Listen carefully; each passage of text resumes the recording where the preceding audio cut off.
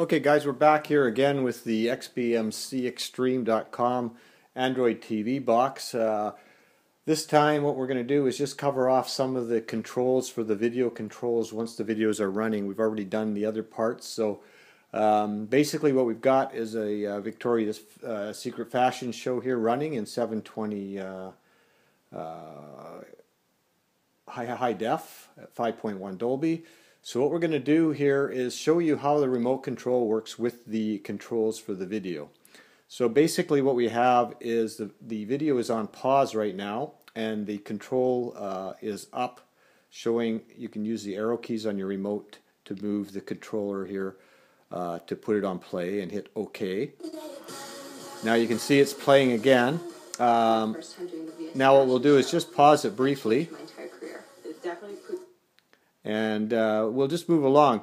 Now basically what you see is uh, on the screen you see a bar uh, that shows you a blue kind of light blue line and a gray line. The blue line is just showing you uh, what's already been played. The gray line is what is streaming ahead that and the little blue marker there is your current position. So that's what that means. So as long as there's a little gray line up ahead you know your your video streaming good.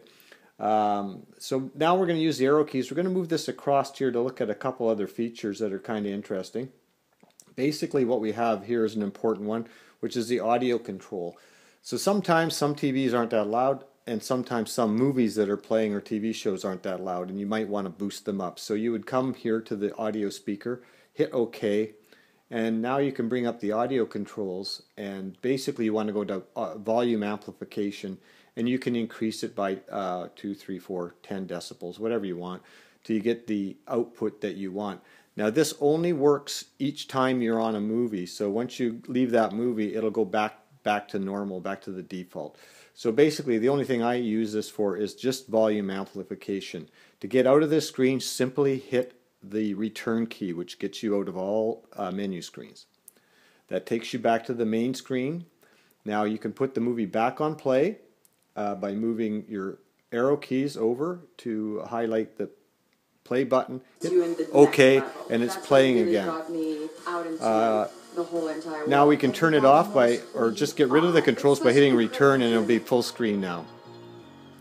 To bring them, to bring the controls back, use the OK button, press OK, and they're back, put it on pause, turn it off, and then you go back to the original uh, startup area where you uh, launched the uh, the TV show or video. Hit return again, uh, and again, and again, and you'll be back to the main menu. Uh, and it's just as easy as that.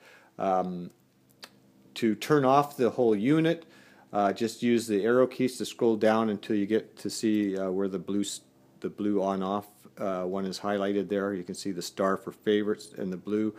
If you highlight that and hit the OK button, that'll shut off uh, XBMC. Hit the OK button on exit again, and it'll exit out back to the Android menu. Okay? Thanks a lot. I hope that's helpful.